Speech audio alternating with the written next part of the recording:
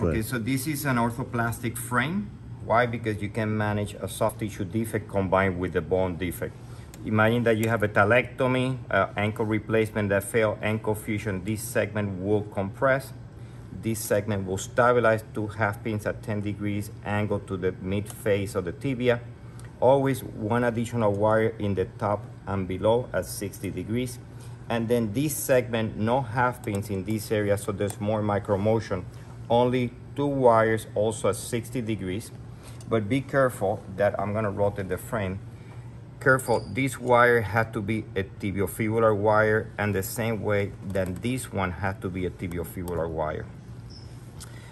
Then at this segment, it will be the compression of tibia to calcaneus or tibia to talus, uh, or it could be also in a post uh, pilon type of uh, scenario. Shortening distally with re-lengthening proximal. Good? Good. Okay, now let's do this one. And now you have this